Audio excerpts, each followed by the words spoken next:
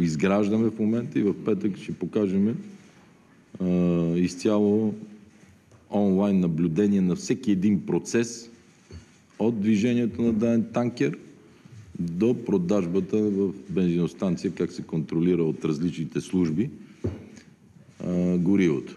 И за да се елиминира човешкия фактор, съм възложил всички сигнали са изведени вече в контрабандния център. Така че взимния контрол и на местните, и съответно в този контрабанден център, знаете, работят служители по двама и на БОПа, полицията, данъчните, митници, ДАНС, гранична полиция.